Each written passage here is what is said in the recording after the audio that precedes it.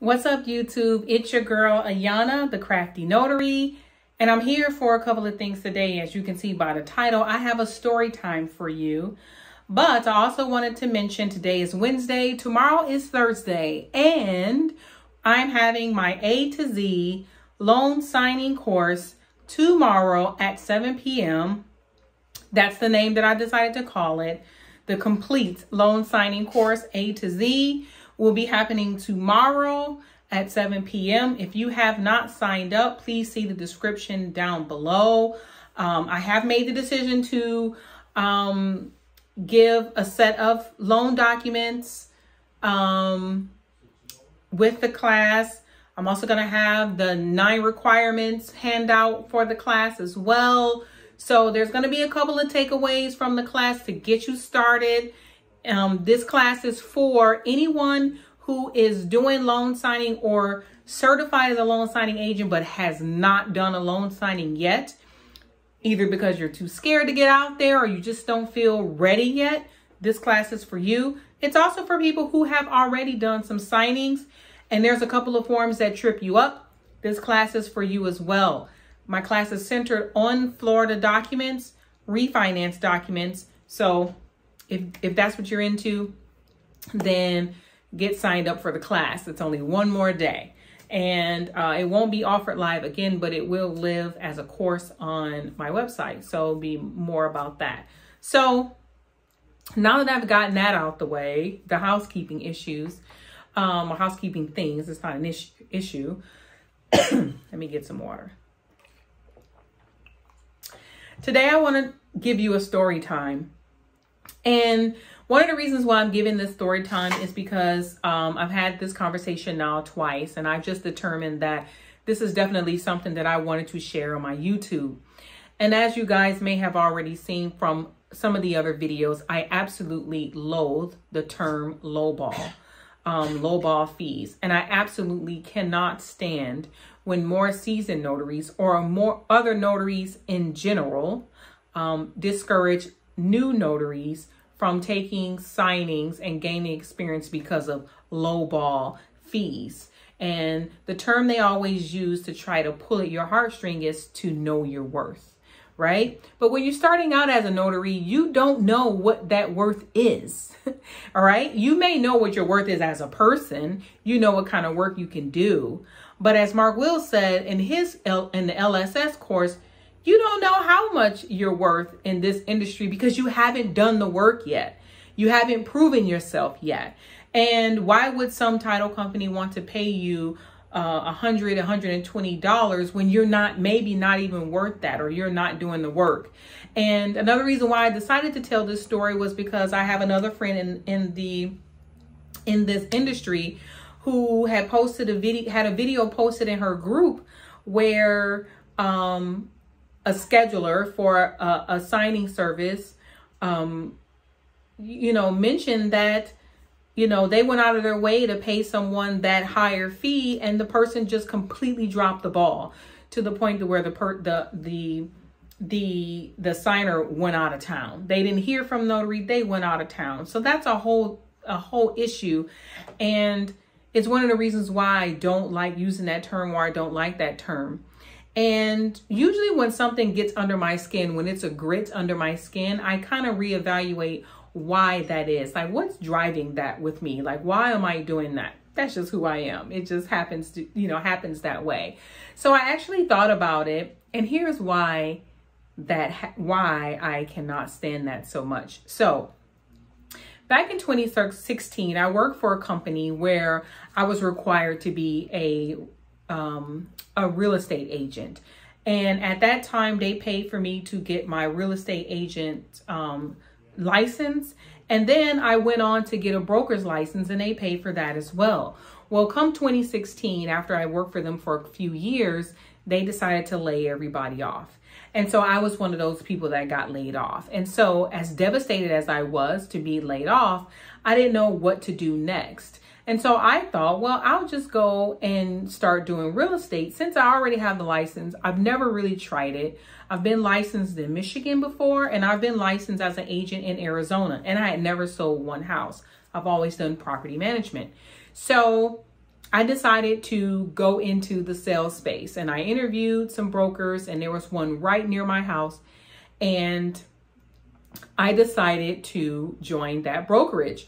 Well, in the brokerage, there was classes for you to learn. There wasn't actually a coach and that coach had a class every every morning that I got up for every day and went over to just so I can glean any piece of information on how to get my business started as a real estate agent, how to get my first deal. Well, he gave out a, a fantastic idea and I followed that idea and actually got an appointment. So I go on the appointment and the person, uh, the guy who um, I met with, um, was asking me all of these questions. Of course, I had no experience selling a home, but I had to zhuzh it up, right? Because I I didn't I hadn't sold one, um, and so I nailed the listing. So I got the listing. So immediately after the listing, um, I got the listing. I had 30 days to get the house sold. That was part of the deal that I had sent him in my letter. So I had 30 days to get the house sold. So I paid for pictures to have the house rephotographed because the pictures he had on the MLS, uh, he was a for sale by owner prior to uh, me coming in. The pictures were were not doing his home justice. So I had the home rephotographed and it looked much brighter and lighter. It was really nice. I uh, went door to door in his neighborhood telling all of his neighbors that this house was up for sale and if they wanted to choose their neighbor, they could um, they could definitely uh, refer anybody that they knew that were looking uh, to me. I held open houses that I paid for out of pocket. And lo and behold, on one of the open houses, a couple walked through and they were in love with the house. Now, they were sent to the open house by another agent in my brokerage office. Okay, keep that in mind. So they loved this house, and we were right down to the wire as far as time for me to get this house under contract. And they put in an offer. I was excited to get this offer. I go back to the seller, give him the offer. Nope, he doesn't want to sell at that price. He wants more money. And I'm like, what do you mean you want more money? Like they're, you know, they're right there. He's like, I want more money. You need to decrease your fee. And I'm like, uh, hmm, okay, let me think about that. So I go back to the office and I bring up the scenario and everybody in the office, all the other agents in the office that have sold homes, the, everybody was just like, never decrease your fee. Never go down on your fee. Never do it. So I go back to the seller and I stand firm on my fee. Now, knowing what I know today, what I could have done was went to the other agent and negotiated a reduction in the fee overall, and we could have split the difference. But nobody gave me that advice. This is my first one. They just told me, don't budge on your fee. Know your worth. Don't budge on your fee. So I didn't. And we didn't go under contract. Well, 30 days came up and I actually had a cruise scheduled like right after that.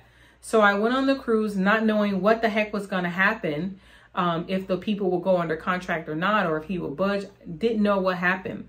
But when I got back, the listing was not only expired, but the house was went under contract. It went under contract with the other agents, clients, and she took the entire fee. So she reduced the since she didn't have since there was not two agents, two agents didn't have to be paid. So she actually reduced her fee and she got closed the deal and she got paid. Now, she was more seasoned than I was.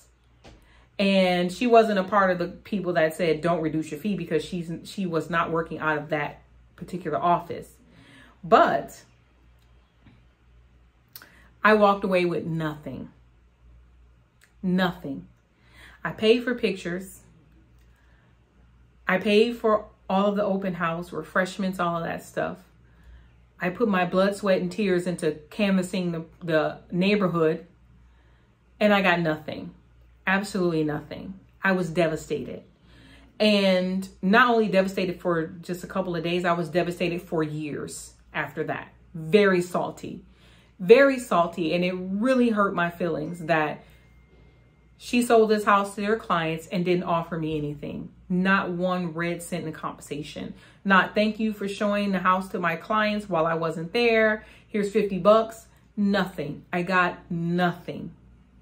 And so this is why I feel like this bothers me when folks say, know your worth and don't take a lowball fee because they don't know your business. They don't know what you put into being where you are today. It takes money to get a commission. It takes money to sign up for the signing uh, course. It takes money to get insurance, a bond, supplies, a printer, a computer. It takes money and it takes time for you to put that into becoming where you are today.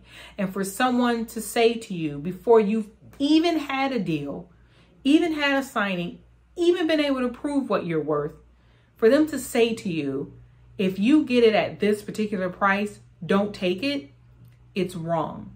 And if you're one of those people, because they're out there, and if you're watching this video, it's wrong. It's wrong for you to do that. Now, you can say things that are much more encouraging, or you can even say, I wouldn't do that.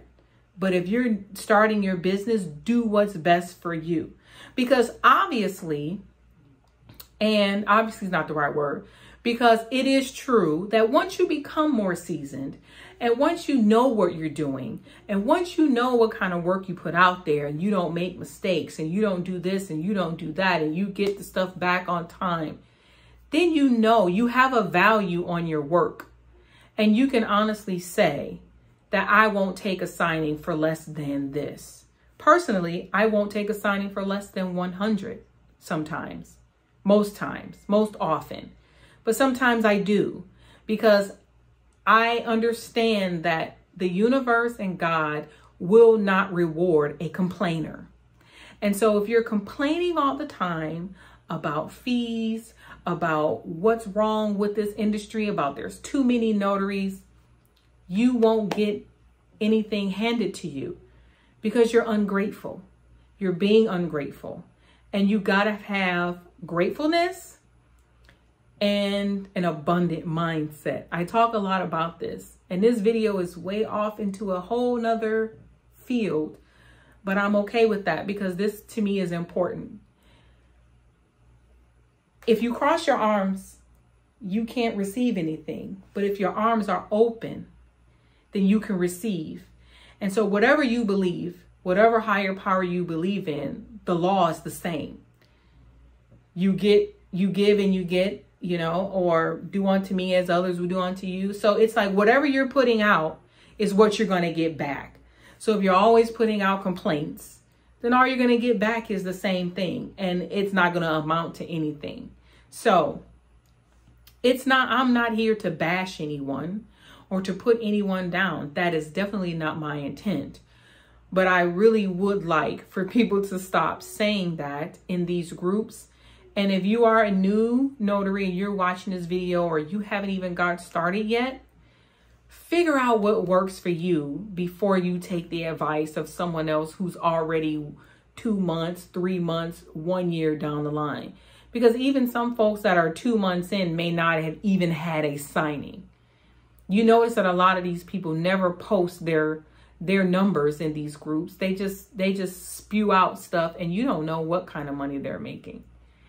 But I'm here to be real with everyone. And I'm transparent. If you want to know what my numbers are, I'll be more than happy to share with you what my numbers are, how many signings. This month I've had one, two, three, four, five, six, seven, eight signings. That's nothing to someone who's doing this full time, but I'm part time and I do this at my own leisure. And so that's what I've had for this month. There's no, there's no, there, there's, it's all transparency for me. So that's what I wanted to say today. Um, and again, if you um, are new in this business and you need help getting started, that is what I'm here for. Because what I do know I know how to do is I know how to start a business and I know how to keep a business running. And I know how to get you to grow your business. Now, what I don't know so far is how to go direct because I've never went direct. I didn't have any desire to do that at this time because of a couple of reasons why. So I couldn't, I can tell you on how you can do it and how you can market yourself, but I can't give you my experience on that because I don't have any. But what I do have experience in and what I do have, I can share with you and I can give to you. And that's what I'm doing, not only on this free platform, but also as a coach, also as a mentor in my Facebook group, and also through the classes. So that's that. Drop any comments below if you have any. I really love to hear from you guys. I love to talk to you back and I do I do respond to all the comments okay? Um, I at least like them all. So drop a comment below. Also check out the description bar for the sign up for the class tomorrow. Um, and stay tuned for more content. I have some stuff planned uh, that's coming up that's just gonna take some work for me to put in in order to get out to you but I have it coming. So until the next time see you soon